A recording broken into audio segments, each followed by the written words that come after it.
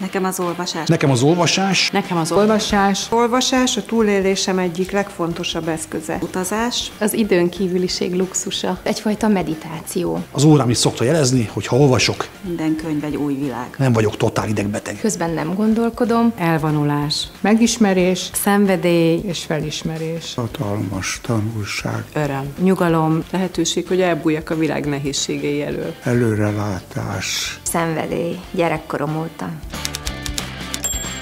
Fájdalom, Lehetőség, Munka, Önkifejezés. élvezet, hivatás, hogy kapcsolatba léphessek másokkal. önkifejezés, segítség, És mindig nagy öröm. Egy eszköz ahhoz, hogy mások kikapcsolódhassanak. hogy a saját gondolataimat is megértsem. gyötrelem, Gyötrelmes szenvedély. Sikerélmény. A legélvezetesebb munka. mikor melyik éppen. Talán nem szenvedély, de nagyon szeretem, mert értek hozzá. Nekem az olvasás az írás kezdete és a vége.